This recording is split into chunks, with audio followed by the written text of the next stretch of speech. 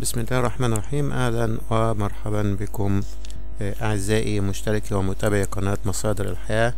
والنهاردة بإذن الله تعالى بنتكلم عن موضوع يخص التغذية وهو زيادة الخصوبة عند الرجال.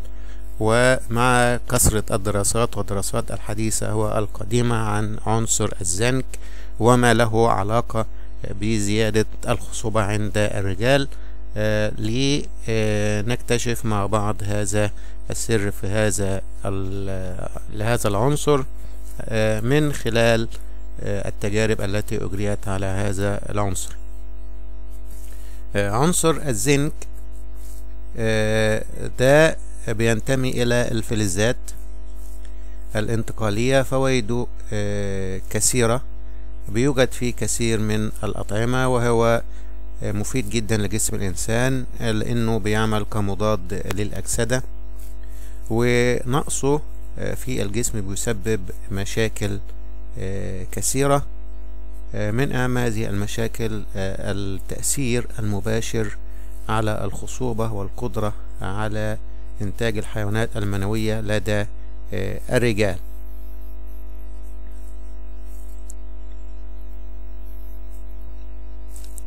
الكثير من الأطباء نصحوا الرجال الذين يعانون من ضعف الخصوبة بعمل إجراء أو اختبار لنسبة الزنك في الجسم.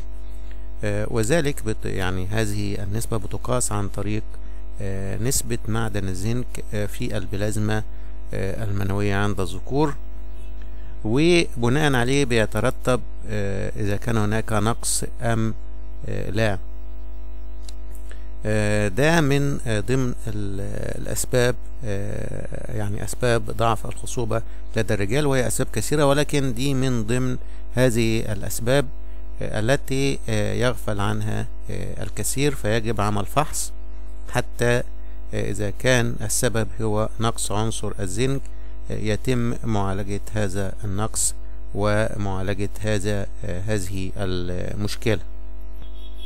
أما عن الأطعمة اللي بيتوفر فيها عنصر الزنك فهي أطعمة كثيرة منها المكسرات والقمح وفول الصويا والسردين والزنجبيل ولحوم الأبقار ولحوم الخراف والمأكولات البحرية كالمحار وجنين القمح وسرطان البحر والفول السوداني سرطان البحر اللي هو يعني القشريات اللي بتيجي في البحر زي جمبري ورسك توزة وغيرها. ده بالنسبة للأطعمة اللي بيتوفر هذا العنصر فيها. أما هناك يعني فواكه أيضا بيتوفر فيها عنصر الزنك ومنها فواكه متوفرة لدى يعني للكل أو للجميع. من هذه الفواكه اللي بيتوفر فيها عنصر الزنك. أول فاكهة هي المشمش و يعني كوب واحد من شرايح المشمش. ده بيحتوي على تلاتة وتلاتين ملي جرام من الزنك. وأيضا المشمش المجفف أيضا بيحتوي على نسبة واحد وخمسين من مية في المية ملي جرام.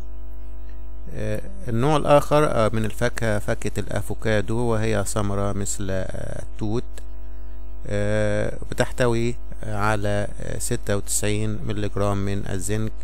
ده لكل واحد لكل كوب واحد من مكعبات الأفوكادو. أيضا الموز ده طبعا مصدر للبوتاسيوم معروف. ولكن بيوجد في كل حباية موز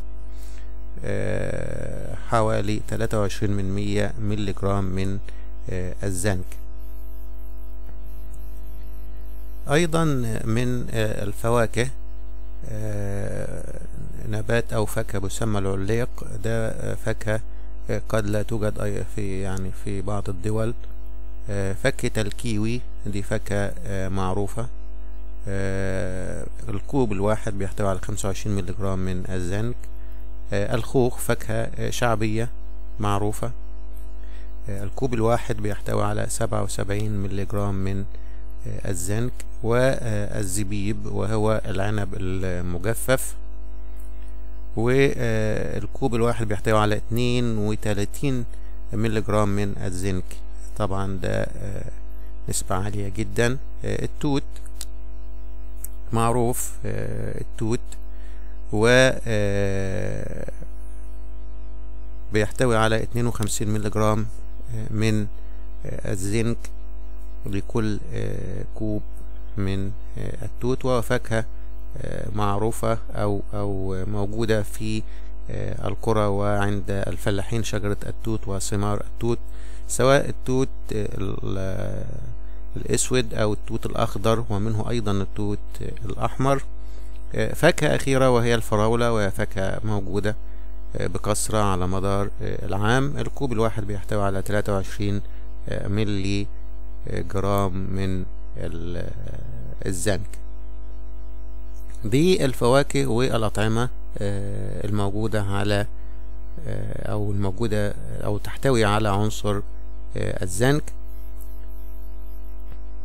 النقطة الأخيرة إيه هو مقدار الاحتياج الجسم أو احتياج الجسم من الزنك؟ اتضح أو دراسات وضحت أن بيختلف على أساس الرجل والمرأة وبيختلف على حسب العمر.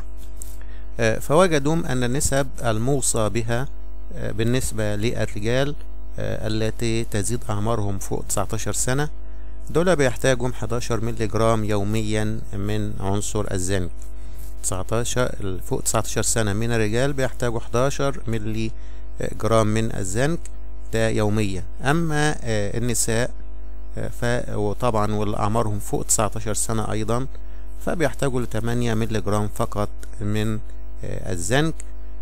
فمن هنا بيتضح أهمية عنصر الزنك بالنسبة لزيادة الخصوبة عند الرجال. وطبعا النسبة دي وجدوا إنها بتختلف طبعا للعمر بتختلف باختلاف العمر واختلاف المجهود واختلاف البيئة وطبيعة التغذية لكل إنسان.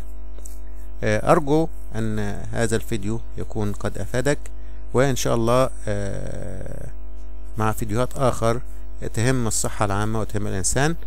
إذا عجبك الفيديو لا تبخل علينا بالاشتراك ولايك وشير حتى تعم الفائدة للجميع.